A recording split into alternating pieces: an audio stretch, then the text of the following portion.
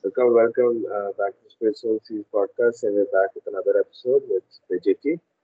Uh, it's been a while, so yeah, we just, uh, just start the incantation. ॐ ज्ञानतिमिरन्दस्य ज्ञानञ्जनशलाकय चक्षुरुन्मिलितं येन तस्मै श्रीगुरुवे नमः श्रीचैतन्यो मनोभीष्टं स्थापितं येन भूतले स्वयं रूपा कदा मयं दाति स्वापदान्तिकम् हे कृष्णकर्ण सिन्धु दीनबन्धु जगत्पते, गोपेश गोपिकान्त राधकान्त नमोऽस्तुते सप्तकञ्चन गौरङ्गी राधे वृन्दावनेश्वरी ऋषभानुस्तु देवी, प्रणमामि हरिप्रिये। पञ्चकल्पतरुभ्यश्च कृपा सिन्धुभ्यैव च पतितानां पावनेभ्यो, वैष्णवेभ्यो नमो नमः। नमो ॐ विष्णुपादाय कृष्णपृष्ठाय भूतले, श्रीमती भक्तिवेदान्त। स्वामी नमस्ते सरस्वती देवी, गौरवाणी प्रचारणे। निर्विशेष शून्यवादी पाश्चादेशधारणे श्री कृष्ण चैतन्य प्रभु नित्यानंद श्री अद्वैता गदाधारा श्रीवसादि गौर भक्तवृंदा हरे कृष्णा हरे कृष्णा, कृष्ण कृष्णा, हरे हरे। हरे राम हरे राम राम राम, हरे हरे। जय Ram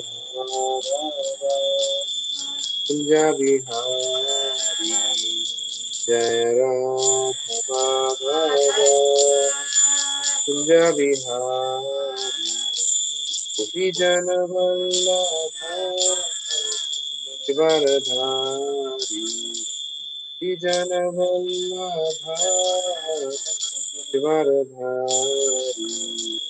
Yashodanandan Vraj जनरञ्जन Yashodanandan Vraj जनरञ्जन यमुनतीरावनचारि यमुनतीरावनचारि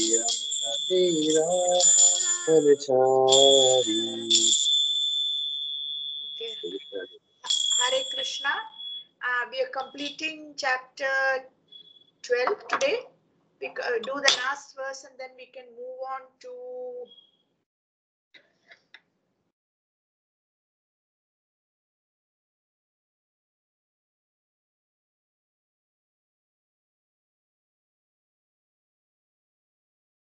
Casey, Right. yeah i can see it's come now because uh, yeah um, anyway i'll be reading from here so let's just chant three times read the translation once and uh, then discuss the purport ये तु ये तु धर्म धर्मामृतम् इदं यथोक्तं पर्युपास्ते भक्तस्तेवमेप्रियाः ये धर्मामृतामिदं यथोक्तमुपासते श्रद्धानां मत्परमाः भक्तस्तेवमे प्रियाः ये तु धर्मामृतम् इदं यथोक्तमुपासते श्रद्धानां मत्परमाः Those who follow this imperishable path of devotional service and who completely engage themselves with faith, making me the supreme goal, are very, very dear to me. Okay, this is like the final word in the Bhagavad Gita, uh, the last word. It's not the last chapter and it's not the end of the book, but those who uh, engage themselves with faith in whom? In Krishna, making him the supreme goal, are very, very dear to me. So, this engagement of the senses in uh, activities connected to Krishna is crucial to Bhakti Yoga. A lot of people have this idea that Bhakti means is just something sentimental in the head, but that's not uh, uh, how Bhakti Yoga is meant to be it's a science like any of the other spiritual paths like in ashtanga yoga you go through different stages and there are different postures you have to do and then you do pranayama and so on. Or with jnana yoga you study certain texts thoroughly and you reach a particular position uh, you reach a, a certain understanding. Or with karma yoga you do all your prescribed duties maybe sometimes over lifetimes develop detachment develop a higher goal Similarly, Bhakti Yoga basically the beginning and the end of the whole thing is action in Krishna consciousness. You take your senses and engage them.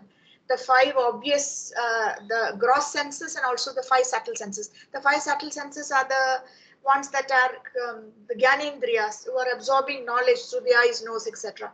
But also the five, the hands, the legs, the mouth, the so on. So you basically take all your senses and engage them in the service of Krishna because sense control and mind control, subduing the mind in order to make it devoted to Krishna, this is crucial. And someone who's accomplished this, basically his, his Krishna is uh, confirming is very, very dear to me. Can you read this purport, please? At least the first big chunky paragraph. Uh, in this chapter, from verse 2 through the end, from Mai Aveshya Manoyema, fixing the mind on me through Yetu Dharmamritam Idam, this religion of eternal engagement. The Supreme Lord has explained the process, the, the processes of transcendental service for approaching Him. Such processes are very dear to the Lord, and He accepts a person engaged in.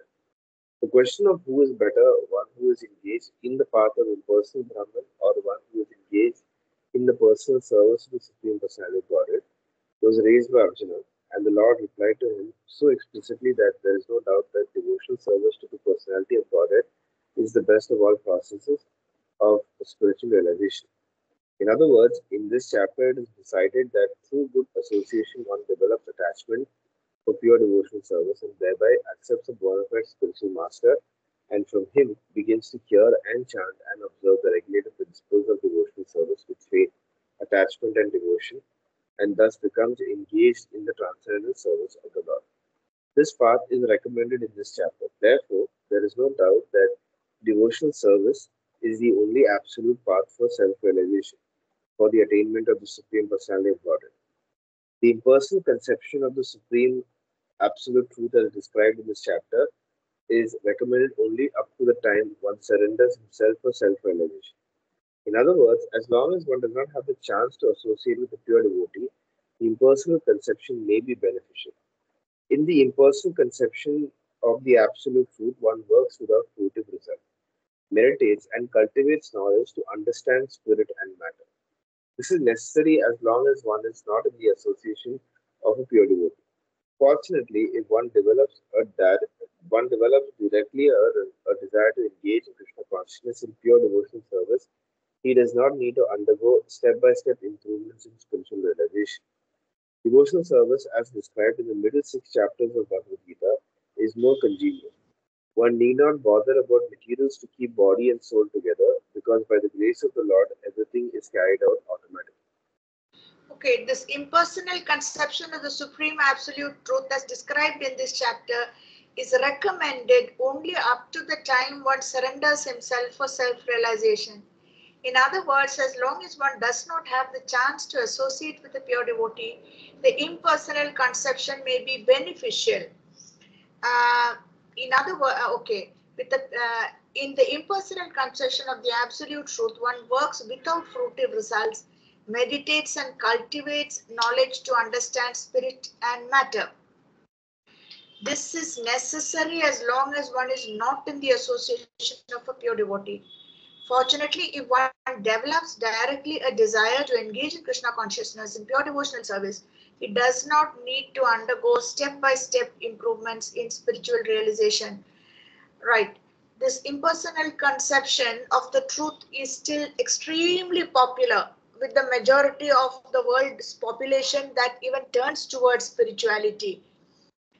It's very popular mainly because people are so fried with the material world uh, and they're so fried with other people that they don't want an object of worship that has a form or that in any way reminds them of another human being. So that's why they don't want a personal God. They're just so fried that it suits them because in this impersonal conception, there is no fruitive desires. So uh, that is, uh, they figured out that it is these fruitive desires that has given them so much trouble and uh, led to cheating experiences, disappointment, grievance, and so on. So they're fine with that, but they're too uh, hesitant to approach a personal form of the Lord because they associate him with all the bad experience they have had in this world and which is with you know with other human beings. So that's why. Tell me, Siddharth, has uh, does the impersonal conception of the Lord hold any attraction for you? Has it ever Um, held any attraction? as in yeah like in i think previous before i i would say like before i got into uh bhakti or you know like uh, krishna consciousness path or this i would say like i used I, I did have like i used to listen to a lot of like lectures from people who you know who expounded that philosophy and all that like on youtube or whatever so i i would say like yeah like i did have some type of um I, I did have some attraction, like some attraction to it at the beginning. Uh, I think this was when, like, you know, this was like literally there was a time when I didn't have any spiritual like interest or inclination at you know growing up and all that stuff. So for me, like the beginning or the, first like Starting point. starting of spirituality or like that this part it kind of came from that place actually and then after doing a lot of uh, like spending a lot of time trying to see different things like you know seeing different parts and all that and i came into this after that but i do feel like um some like i, I do feel like sometimes uh so there are like a lot of things even like even when when we are studying bhakti like going through bhagavad gita or um, listen to like Bhagavatam or even like if you listen to like lectures from like the you know like bhakti uh, teachers or whoever else, there's a lot. There is still a little bit of that. Um, you know, of, there's that little some some parts of the impersonal philosophy are also within our philosophy as well, which we kind of For accept. sure. For sure, we sure. accept. Like Yeah, sure. Because I think the uh, Yeah. conclusion is that the Lord ha- is that's what is it. there That's in what his the That's right. Uh, uh, no, actually, uh, because that's what I guess maybe that's what Chaitanya was Mahaprabhu said, no? like simultaneous oneness and difference. So it's like Yeah. we're accepting we're accepting both. It's not like we're it's not like people are completely just only like blind faith, blindly believing in uh, Krishna just because he's God. Just, just because he's God, we're blindly believing in that idea. It's not because of that. Um, and it's also not just only because you know uh, you know it's not also because of like you know the idea that you know krishna. Like the idea that krishna is everywhere is also the same thing as you can say it, we are all one in one sense in the impersonal philosophy all stuff if you want to make that Yeah. comparison. So it's not like it's kind of like taking both things together and trying to merge both and uh, you know uh, i guess actually uh, this uh, yeah. impersonal philosophy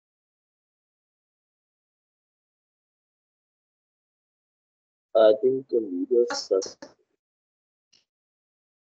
for Advaitavad, as you said, it is uh, everything is one. Finally, Yeah. merge Shankaracharya and Advaita, Advaita philosophy. Fine. What uh, the Bhakti Parth and uh, that he's just qualifying it and clarifying that concept a little more by yeah saying one is not quantity. It's like a drop of ocean water is salty, like the ocean. So it is same in quality, but in quantity, same in terms of its volume and its it's just a drop of saline water from the ocean, whereas the ocean is a huge uh, mass of water. Uh, I think in between, no, like audio just like cut in between. But yeah, I got most of what he said. I got most of what he Yeah, said. I also So, so yeah, also, Oh. uh, can you yeah, can, can you hear the me now?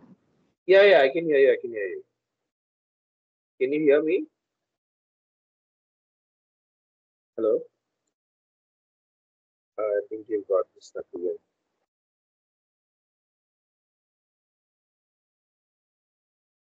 Okay, we'll just wait. There is one. be a technical network issue. Are you able to hear me now? Yeah, I can. You can hear me? Uh, I uh, the voice, your voice is kind of cutting in between.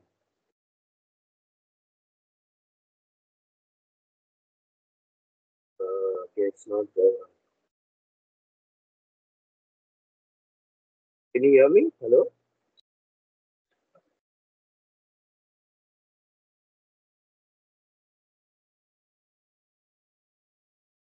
I think there's some issue.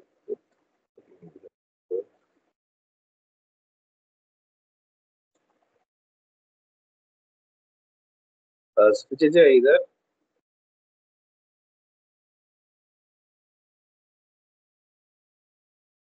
We just wait. See what's that thing.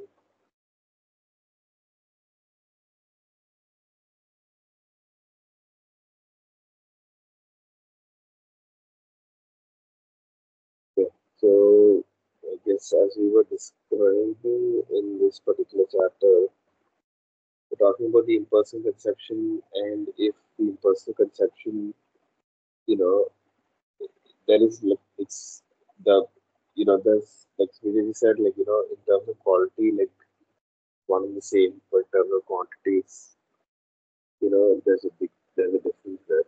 So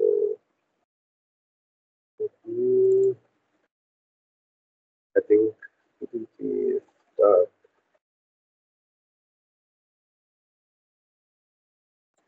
Mm,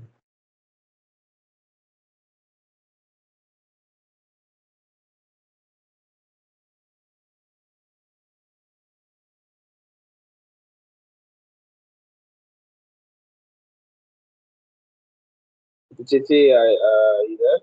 Uh, need her to got this up. Uh, Yeah, yeah. Actually, the internet went in between for me. oh The okay, okay. internet had fluctuating, maybe the weather. Yeah, that's I had to reconnect right now. okay. Yeah, now got it's clear. Uh, Now it's clear. yeah, Yes. I, that's why I, th- I Yeah. thought maybe it was a network issue. So Yeah, yeah, it is. No, so just just remember one thing, this business about being one in quality but uh, different in quantity, that's specifically uh, what is meant by that achintya bhed abhed. You know, it's coming Abhed. straight from Chaitanya Mahaprabhu. Ach- achintya meaning is inconceivable. How bhed abhed, that is we're different and yet we are the same. Because we are different in quantity, but we are the same in quality. That's inconceivable. Inconceivable meaning it's fantastic. It's great. It's fantastic. It's amazing. That at one level we are the same as the Lord, and yet we are just not the Lord at all because He's just so much more powerful. So that was the qualification that uh, Lord Chaitanya brought to the general Advaita understanding. So we are not quarreling with anybody. He's just kind of uh, clarifying. You know, I uh, just two weeks back I had gone to uh, Kaladi. This is the Yeah. uh, Shankaracharya, yeah. I've also so which is uh, because I've I also been there. Yeah.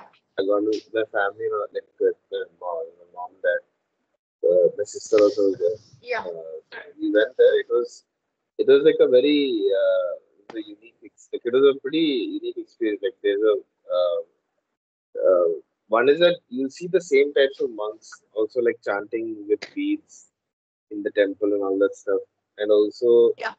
uh, you'll see like I think there there was like a school. There's a Sanskrit school also next to that.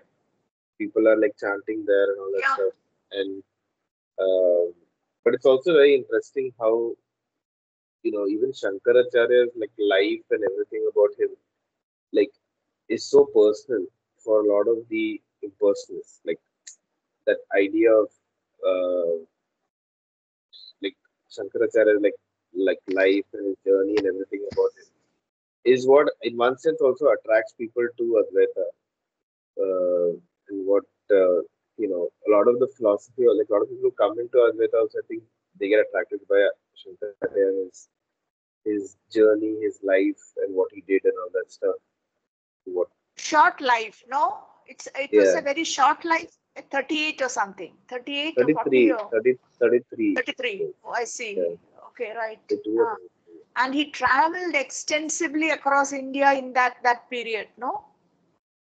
Yeah, that's what even my dad was asking, like, how is he even like go all the way across four corners of the, of the country, Yeah, yeah.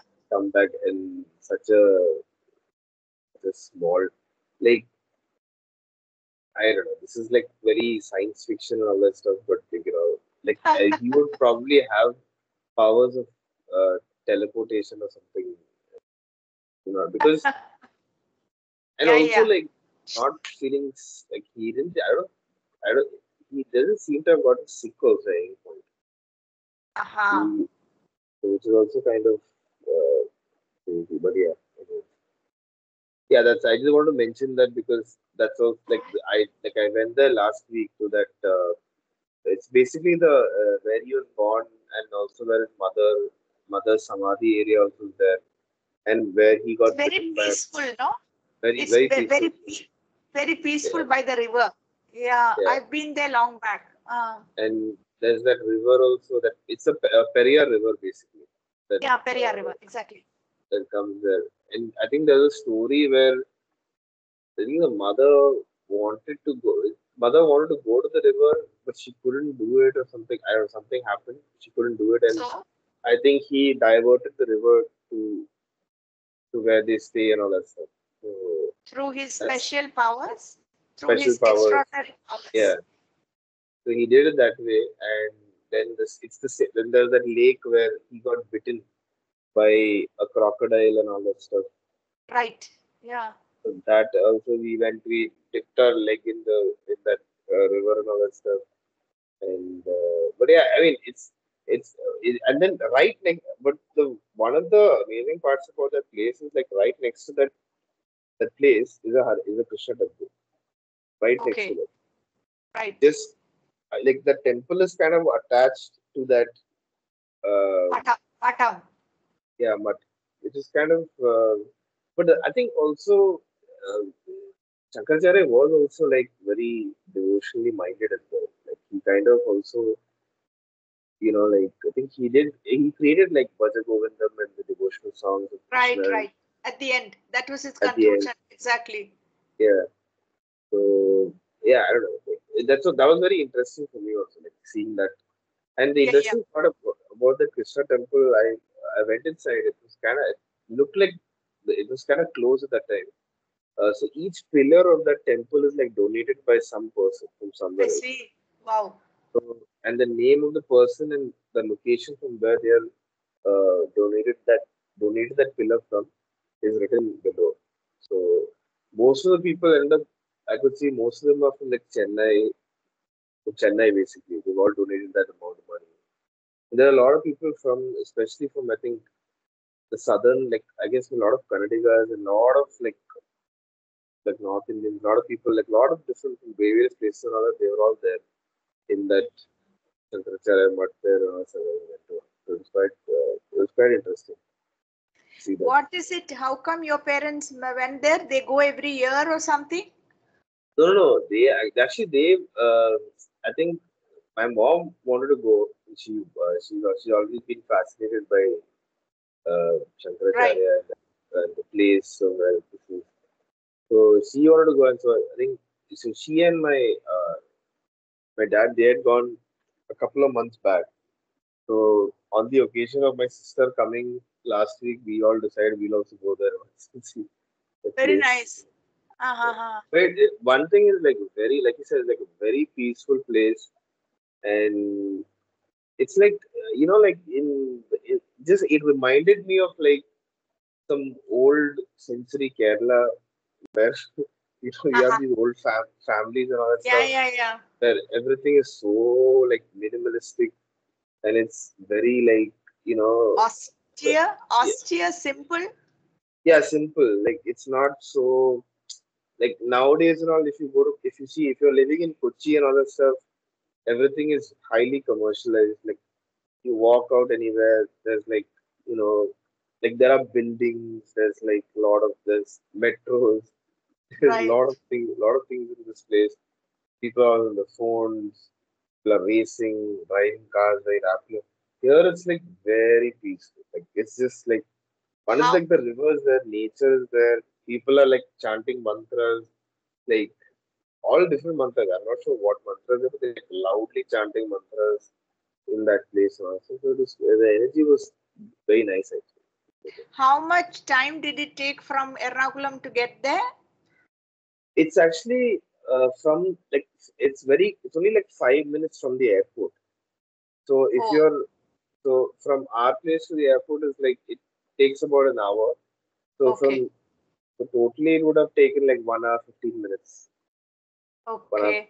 And how much time did you spend there? I think we spent maybe one and a half hours.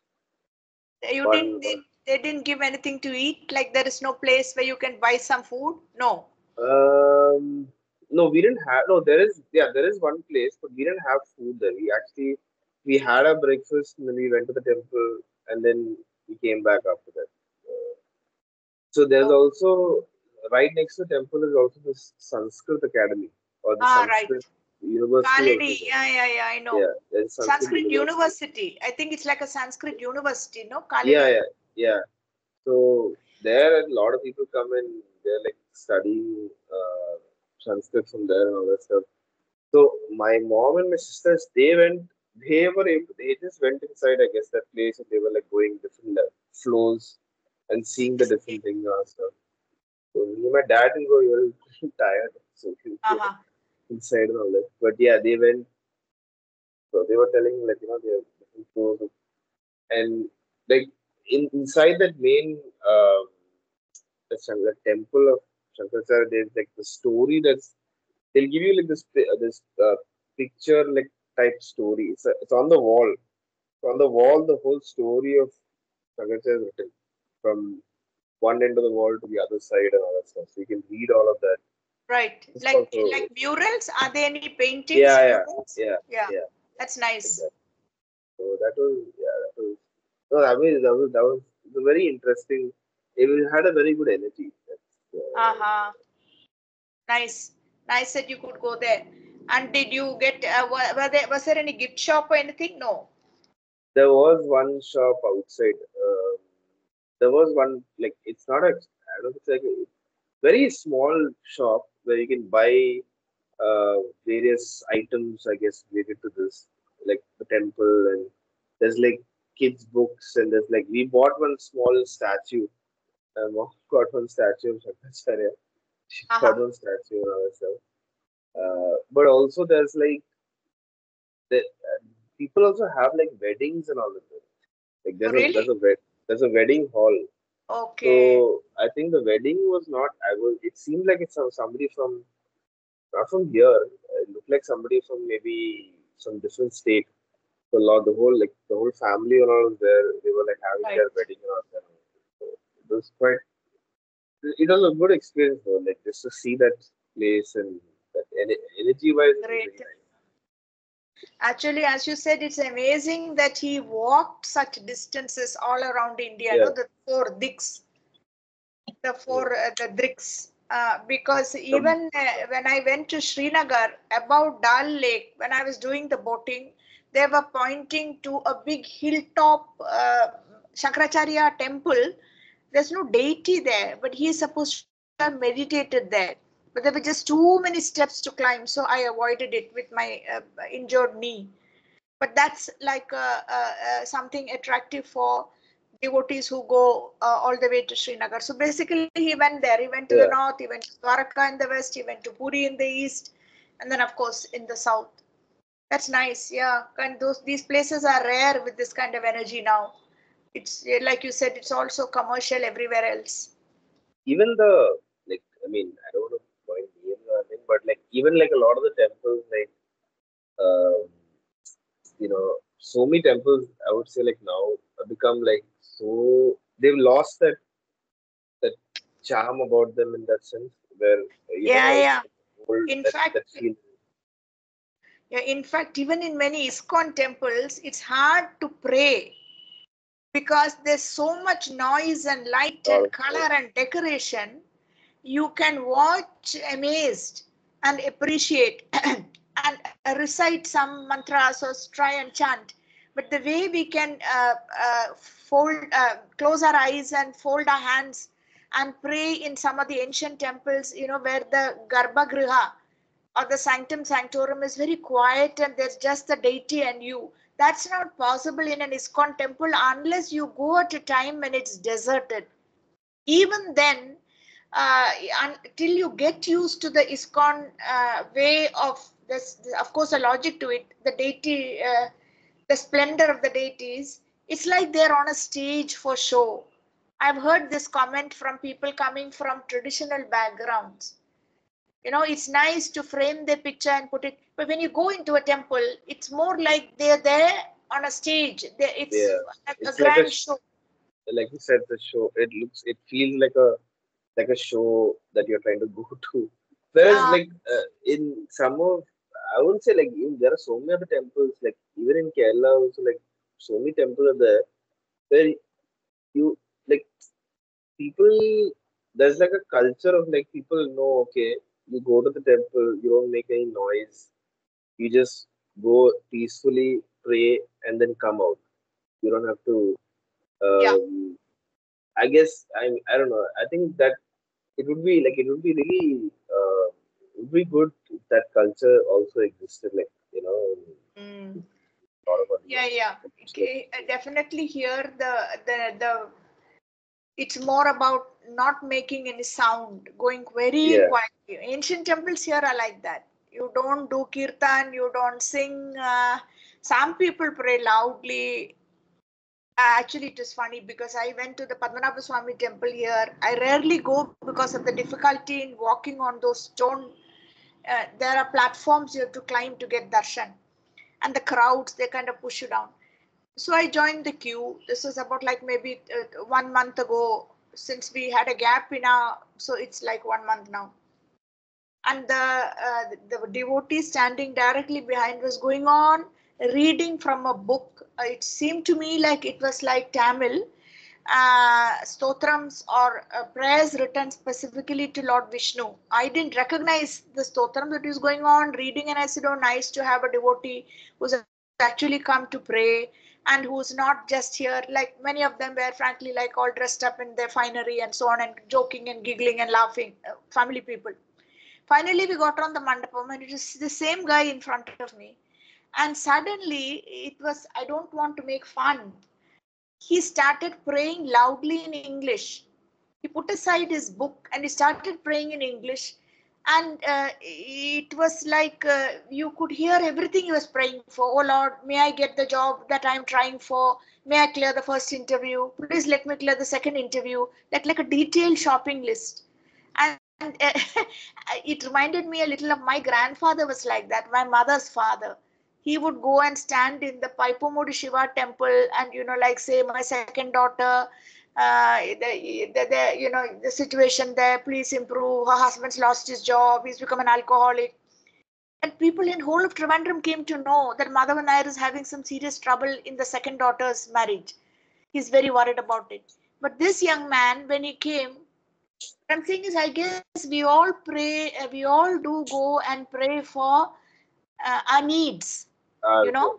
yeah needs and wants like But- uh, yeah, our wants, but fears. nobody actually nobody actually like goes to the temple because they want to see like see the see the lord or like That's- actually love and display their love to the That's lord the thing. That's So the that's- thing. Because all this time while he was in the queue in front of me, so patient, he was only reciting these Tamil stotras, Tamil or Sanskrit or whatever. And I thought, okay, here is someone who's really come just to glorify the Lord. The minute he got onto the mandapam, the whole mood changed. And because it is in English, I could, uh, you know, even more than Malayalam, I could follow everything he was asking for, like desperately in the few moments like the shopping list you give across the counter you know i need one of this and one of that and you know one one packet of surf and so what to do i guess the jiva is like we are all trapped with our material concerns and anxieties and it's really hard to rise above that level i mean that's that's that was my takeaway from that whole situation it's but also yeah but at the same time uh, even though like even though we know that uh, it's like there's a there's a state higher than that also. Um, we can't like uh, we can't like we can't tell so we can't tell people that oh it's what you're doing is wrong. Yeah. because even Yeah. that also is in one sense that also is kind of right. Like what they're doing also like they're even though they're asking for something from the lord and the lord will obviously like give them what they want. Uh, most likely they give them what they want. And what But- they deserve, or yeah, they, so but uh, because as long at least they're like they're approaching the lord they at least have that respect where they're approaching Lord on that level. So at least i mean that is there uh, because like even like I think Krishna says in the in the Gita, in the Gita also he says no like out of millions of millions of people, only one will at the end like Understand the understand Means- understand me truly. Like nobody Yeah. else will uh you know that even sometimes I also feel like that at times, like you know even amongst all the people, even the ones who are praying to Krishna sometimes and Vishnu herself, I'm sure everybody has some materialistic desire. Even I also have like a lot of materialistic desires deep in it. Even if I don't say it loudly, like deep inside, like there'll be some materialistic desires I'll like want. Like, you know, I'll want like one apartment, this and that. So Krishna be like, yeah, you still are you're not saying every anybody, but you still have something. So, you know, but who is that one person who doesn't have any desires at all? And is like desireless and able to like And at one level, unless these material areas, like this guy was praying for uh, that job or the interview and all that, unless this is all sorted out, it's difficult to even be peaceful and focus on steady worship of the Lord. If you're in anxiety, you're going to be fired, a whole family is dependent on you, you know, money won't be enough. Naturally, where are you going uh, uh, to steadily worship the Lord? So, at one level, it is uh, only fair that they pray for the Lord's support to sort out these material uh, compulsions or whatever other requirements. And then I've also met the odd devotee who says, Oh, I don't pray for anything at all. Now, that can also be a kind of uh, ahankar, you know, like a false arrogance. I just don't pray, I go there. I used to go through a mood like that. But uh, later, I think it's some kind of artificial uh, arrogance to, to take that line. Because like you said there are desires. Oh i'd love to go back here. I'd love to do this. I'd love to do that. Oh, please let that damn flat get sold you know upstairs so that it, i can be rid of these. And even if you don't pray for it krishna says in uh, i think it is in chapter 5 that he can smell our desires in the heart just like a person can smell a rose by putting it near his nose.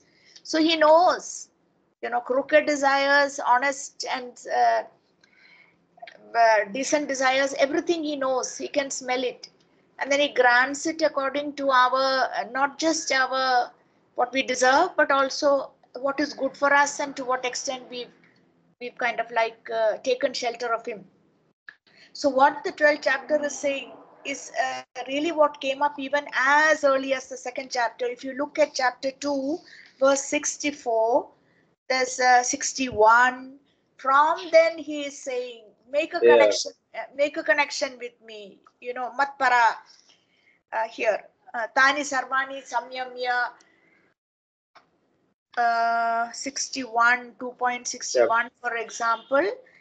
Yeah tani sarvani samyamya yukta sita matparaha matparaha really means connect with me connect with me. And uh, such a person keeping his senses under full control fixes his consciousness upon me is known as a man of steady intelligence. This is 6.1. The mat paraha verse. Mat man meaning me, paraha come close to me, connect with me, and then kind of anchor your mind onto me and my instructions. If you turn a couple of pages and come to 2.64, this is the famous verse where how you can get the mercy of the Lord. It is uh, Ragadvesha Vimukta is the Vishayan Indriya Ischaran Atmavashir Vidhe Atma Prasadam Adhigachati. Prasadam here means the mercy of the Lord. Uh, You know, the, the, the you catch the interest of the Lord. What do you have to do? You have to rise above attraction and aversion, raga and dvesha, and bring your senses under control. And basically, you do all this by following, trying to follow the instructions the Lord has given in the Bhagavad Gita and the Bhagavatam. That you get the mercy of the Lord. With this mercy, the next verse tells us, Prasade Sarva Dukhanam. What happens with that mercy? You stop getting bewildered or affected by all the dukkhas that come in this world. And the threefold miseries of material existence, they don't affect. And then the intelligence becomes very steady. And the same logic, once the intelligence becomes steady, it says uh, we become peaceful. And only when we are peaceful can we be happy. And it ends with like a rhetorical question in verse 66. How can someone who is not peaceful ever know what happiness is? So there's a connection. You bring your senses under control, you bring your mind under control. Therefore, you rise above uh, the two extremes, attraction and aversion to all situations. How do you do all this? Over time, you subdue your mind and fix it on the Lord and His instructions and connect, connect, connect with Him. So then you start attracting His mercy. He's there, He helps you through difficult situations. Sometimes He kind of uh, slaps you or uh, arranges uh, situations, experiences that are hurtful, but they help us to grow. And then you again connect with him. So then you attract his mercy. Once you attract his mercy, what happens? Your steady intelligence is basically established, which is not affected by the threefold miseries, things that are going to come our way every day, some new problem. This is a material world. Once that mind steady intelligence is established then you become peaceful and with peacefulness you become comes happiness. And the the verse that and then the following verse if you go to two no it doesn't come here. Uh, yeah 2.68 sorry 2.66 yeah one who is not connected with the supreme in see this one who is not connected with the supreme he cannot have that steady intelligence, steady mind. Without it, there is no peace. And with there is when there is no peace, how can there be any happiness? These threefold miseries, just it's like a small point, but uh, these are kind of basics. Like we talked a little earlier of the Achintya Bheda Abheda Tattva. Achintya Bheda Abheda Tattva is that we are uh, uh, same in the in quality, the Jiva, we individuals are same in the quality as, as the Lord. That is, we are also spirit, not matter. But not the same in quantity because the Lord is so much larger and more powerful and so on. And uh, like the case of a drop of water from the ocean and the ocean, both are salty. This is Achintya Bheda Abheda, means the fantastic conception, the inconceivable fact that we are the same, but we are not the same. We are the same in quality, but not in quantity. Like that, these threefold miseries, what are called the uh, the three kleshas, kleshas of the damn nuisances, the damn pains, the miseries. One is what our own body and mind. You know, our body tricks us and makes us take wrong decisions or keeps on hounding us with grievances and with things that went unfulfilled or hatred for somebody, whatever, hurt, real grief, sorrow, our body, you know, uh, we develop diseases and so on, whatever. The body gains weight, the body develops diabetes. So this is our own body and mind. Then there are things that miseries that are caused by other living entities to us. It can be the tiny mosquito. It can be a dog that bites us. It can be other human beings that say hurtful things or stab us or kick us or punch us any of these. This is the second type of misery that comes our way. And the third type of misery is natural disasters. Flood, famine, fire, drought. Just see, I think in Udupi, uh, some very big uh, restaurant owner and his family were sleeping peacefully. There was a short circuit and the, uh, the air conditioner exploded. The whole place caught fire and was burnt in no time I think the family were uh, rescued, but the man by then had suffocated to death. Some Shetty, some Shetty guy. So these are natural, not natural calamities, as in the case of landslide in Idukki and you know floods in uh, Rishikesh or Haridwar, but again things beyond our control through modern electronic devices. So these are the three types of misery that keep coming at us. And uh, someone who is above all this, like these things happen, but they just learn not to react because they take it as the material world. The Lord is really peaceful, uh, really pleased with them because he feels that then they can get out of this tangle and cycle of birth and death. That's why he is pleased because they can get out and come back to him in the spiritual world.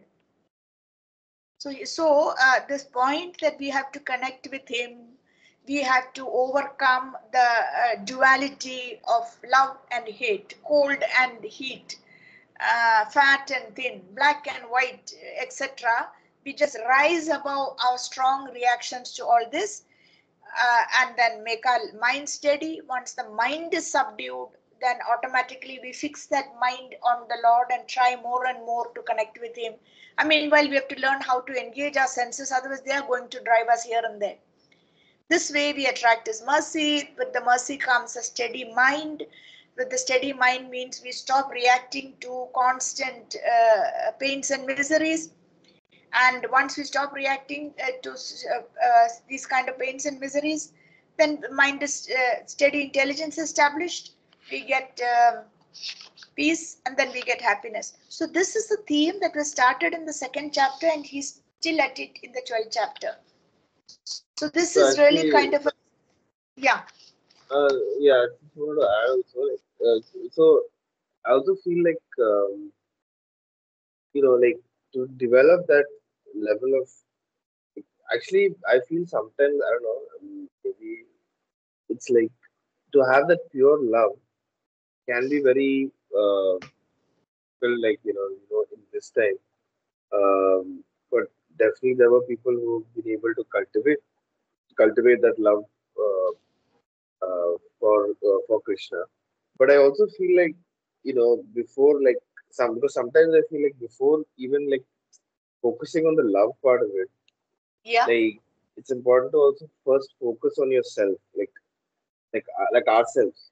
So like you know with what you know how uh, you know like uh, two practices that can like you know that you're able to like help you to like maybe control your mind control what you speak and your habits sure. things like that and sure. then because i'm not sure if i heard this from somewhere but i remember somebody saying in some video but like they were saying that you know in this in this movement or this thing like you know, sure, love of Krishna is very important. That's the goal. But not everybody like reaches that. And so the reason why they don't reach it is a very simple thing. Like people don't focus on their own selves first. Like you need to for like how can you love something if you still have attachments for you know something else? Like you know, it's that thing is there.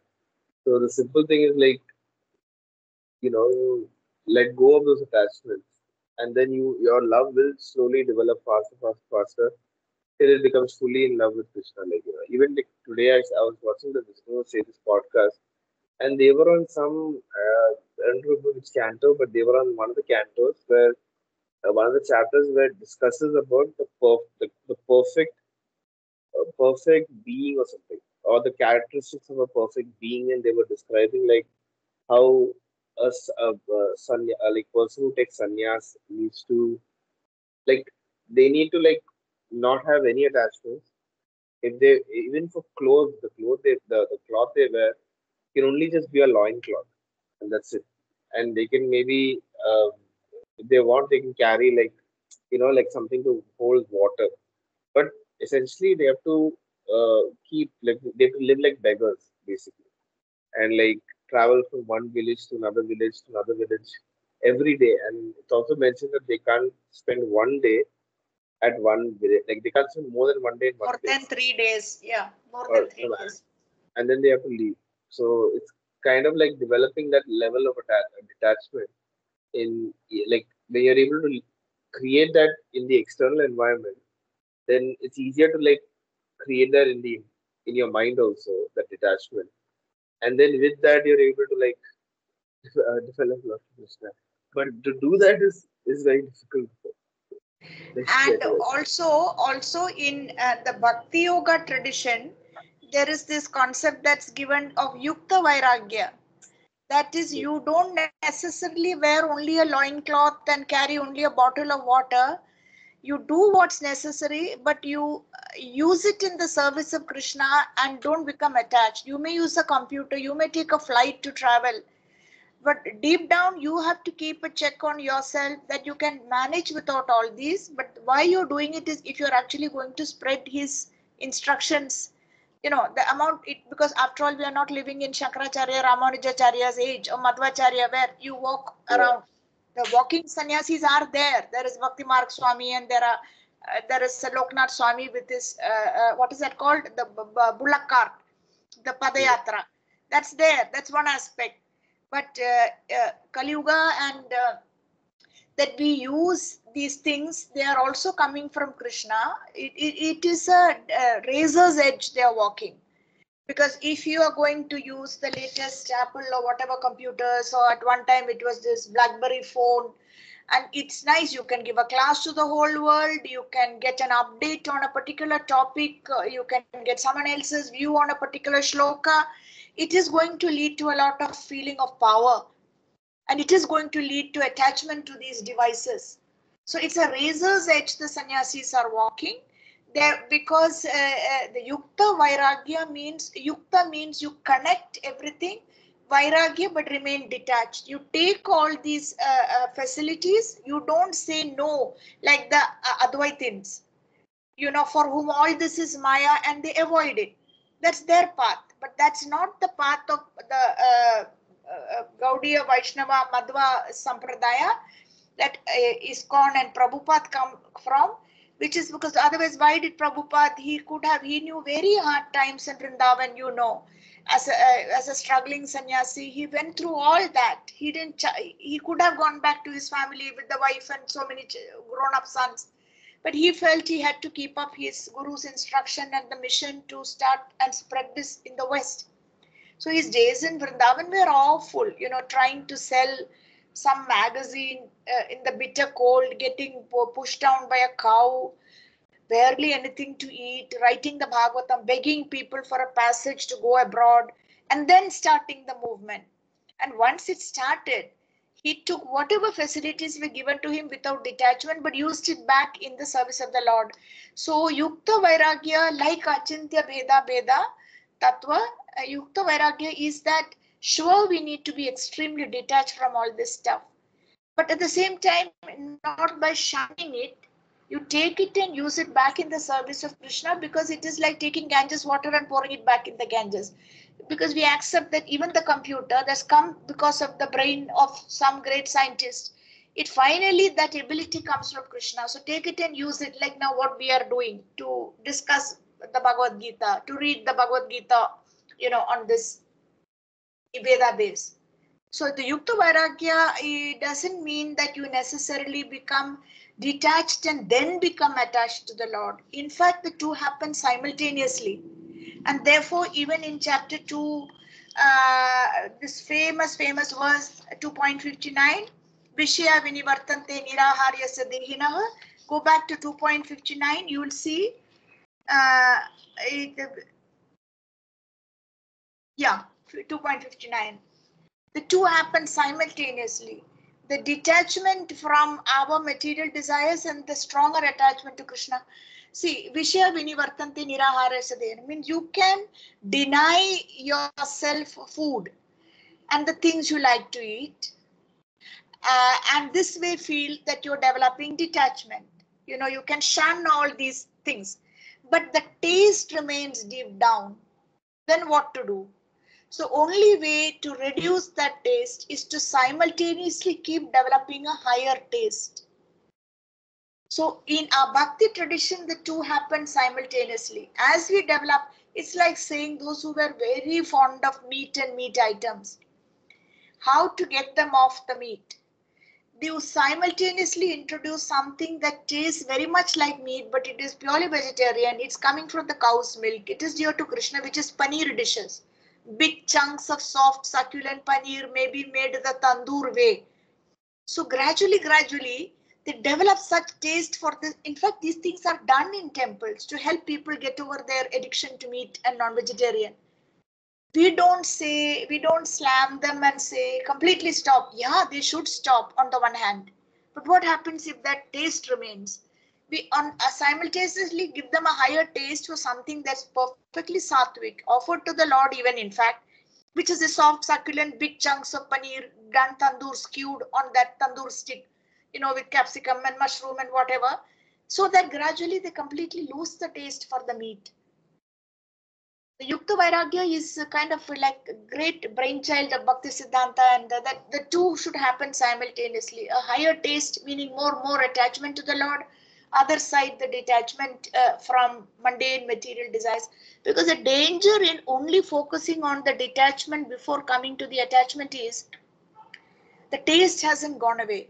So you get the slightest opportunity and the senses become highly agitated which is what happened to vishwamitra muni which was what happened to Saubhari muni who'd done so much austerity and yoga yoga under the river for uh, decades and years to control his senses. He, but at the end, because uh, deep down there was no higher taste for a higher, uh, some some very beautiful lord or whatever, he opened his eyes and saw two fish mating. and that agitated his senses. So he came out from the water and then pursued a life with uh, a lot of interaction with the female sex. So uh, this is just something to remember that it's a little different in the Bhakti Yoga tradition.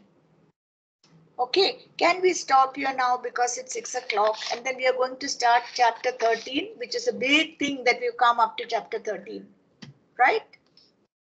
Is Yeah. it okay by you? Yeah, okay by you. How Yeah. are you placed next Saturday? Yeah, we can do it next Saturday. I'm be free. We can do it next Saturday. Okay. Anyway, it I'll- was, yeah, what? Okay, I'll just end the recording.